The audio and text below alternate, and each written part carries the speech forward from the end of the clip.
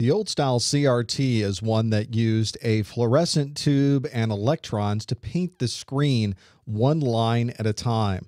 These particular heavy monitors were configured for certain sizes. So you might get a 15 inch or 19 inch or 21 inch or different other types of options for these big cathode ray tubes. Obviously, the larger the screen, the larger the tube, and the larger the weight for these devices.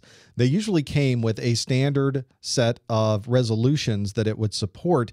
It might be things like XGA, which is 1024 by 768, SXGA, which is 1280 by 1024, or UXGA, which is 1600 by 1200 as its resolution. An important specification for these older style CRTs was something called refresh rate. This referred to how fast the electron gun in this device can paint an entire screen. The refresh rates of these devices tended to be about 65 to 75, sometimes 85 hertz. That means that we could refresh the screen 85 times in a single second. What we started to see as the resolutions got larger is the electron beam took longer to be able to update and refresh the entire screen. And as those refresh rates dropped down to 65 hertz or lower, our human eye started to pick up flickering. We couldn't exactly see the updating of the screen, but we could see the results of the screen being updated slower, and that caused fatigue, especially if you were sitting in front of your monitor for long periods of time. These days, a very common display type is an LCD. That's a liquid crystal display. We don't have tubes, there's no longer an electron gun, and we don't have to worry so much about that electron gun painting the screen. Instead, we have a backlight that is always on on a liquid crystal display, and when we provide power to a transistor, it repolarizes the light so that it can now come through and display a certain color. This is why the LCD displays generally don't have the blackest blacks because you always have a light shining through. And you'll find if you're doing a lot of graphics work or a lot of work that needs to be printed, you need very good color representation on the screen. You want to make sure that you have a very high quality LCD because of that backlight. There's another type of display you'll see called an LED display. And we call it an LED display because the backlight that normally is a fluorescent light is one that we are using instead an LED to provide that light. This is still an LCD providing the screen information, providing that view. So it's probably more accurate to call this an LED backlit LCD display. This LED technology may be implemented a number of ways. One way is to have the LEDs around the edges of the screen, and there's a diffuser inside of the display that then evenly distributes that light throughout the entire back. Another way to implement this technology is with an entire array of LEDs. They're not just around the edges, they're throughout the entire back of the display. And that gives the display more control of lighting and darkening certain areas to make those blacks just a little bit blacker when you need them.